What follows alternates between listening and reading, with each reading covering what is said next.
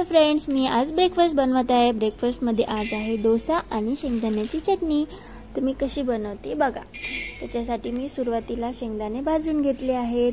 त्याच्यानंतर मी मिक्सरच्या भांड्यामध्ये लसूण हिरव्या मिरच्या जिरं अद्रक साखर मीठ कोथिंबीर कढीपत्ता आणि आपले भाजलेले शेंगदाणे हे सगळं मी त्याच्यामध्ये मिक्सरमध्ये फिरून घेतले. तर माझ्याकडे कोथिंबीर नव्हता म्हणून थोडंसं जाडसर झालं आहे तर मी थोडंसं याच्यामध्ये पाणी ॲड करून एकदा थोडीशी दरदरीच पेस्ट करणार आहे. जास्त बारीक मला आवडत नाही.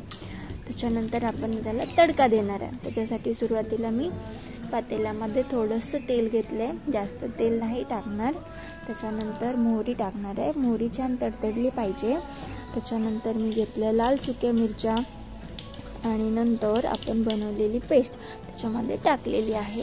थोडंसं रसा हवा असेल तर मी थोडंसं त्याच्यामध्ये पाणी ॲड करणार आहे. त्याच्यानंतर ही माझी शेंगदाण्याची चटणी रेडी आहे.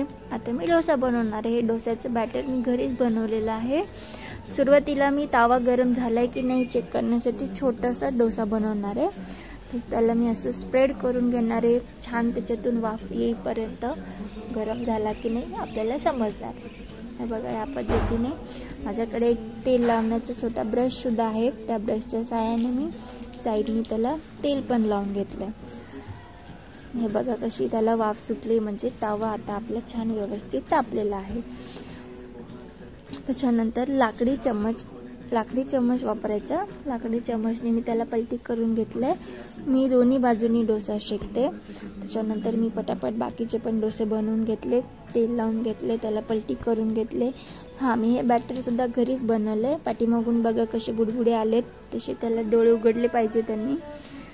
असं क्रिस्पी डोसा माझा रेडी आहे. याच्यासाठी मी बॅटर बनवलं आहे त्याच्यामध्ये मी तांदूळ उडीद डाळ मूग डाळ थोडेसे पोहे मेथी दाणा असं सगळं मी आधी एक दिवस आधी रात्री पाण्यात भिजायला घातलं होतं आणि नंतर मिक्सरमधून काढलं आहे तसं माझं बॅटर रेडी झालं आहे तर बघा मी कसे पटापट डोसा बनवते एकदा तवा गरम झाला की एकदम पटापट डोसे होतात. मला मोठे मोठे पण डोसे करता करायला जमते आता. हे बघा माझा ब्रेकफास्ट रेडी आहे.